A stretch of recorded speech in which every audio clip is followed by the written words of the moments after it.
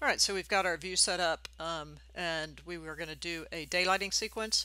And I wanted to talk about a few things you should set up before we do the daylighting sequence. Um, the first thing is the sun. So in Rhino, under rendering, um, you will have sun settings and you want to turn on your sun for sure. Um, if you click on sun settings, it's going to come in and if you scroll down, it will give you an option to set your location, right? So um, if I highlight, you can search and highlight um, where you want. It's going to give you the time zone. And then the other um, the other thing you want to set up is your day and time, and I've just got it set up for today. Um, and I'm just going to leave it set at about noon. Um, I'm not really, we'll, we'll fix where the sun starts and ends in Enscape, so I just want to be able to get, you know, a decent baseline here. So you want to go ahead and set that up. Um, another thing that's um, sort of important to know about is there's this view synchronization from Rhino to Enscape. So right now it's set to turn on so you can see synchronized views is true. Um, so it's locking these two. So it's looking at the camera in Rhino and matching it there. But you can turn this off after uh, uh, afterwards, and I often do that. So if I click on that and I turn it off, then the camera in Enscape takes over and it separates itself from this one. So there's good reasons to have both on or off. Um, I typically tend to disassociate them after I get my initial view set up um, so I can tweak it in Enscape, but it's kind of up to you.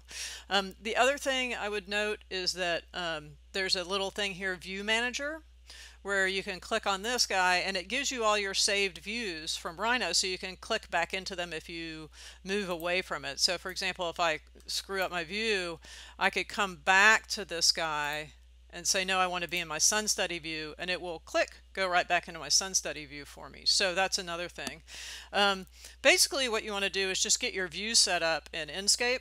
So if I come in to Enscape here, I'm just going to left click in the screen and sort of back off, you know, um, there's the roof.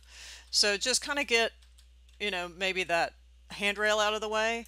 And then also you can come in and play around with the field of view, um, whether you want to do that or not. So for example, if I come in, you have a field of view here and you can change the lens basically, you know, where it's getting very warped into where you feel like you're comfortable with where you want that. Um, and then just, you know, I will in Enscape kind of tweak tweak the view a little bit. So if I come over here and, you know, I want to center it or something like that, I'll do that and get that guy set up. One last thing you want to do is um, check your video capture settings um, in Enscape. So to do that, you just come to the Enscape tab and, and go to the Enscape Visual Settings window and go to Capture.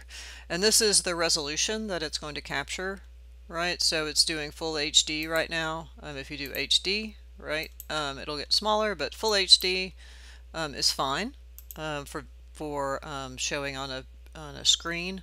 Um, you can go higher, but I would recommend just going with full HD.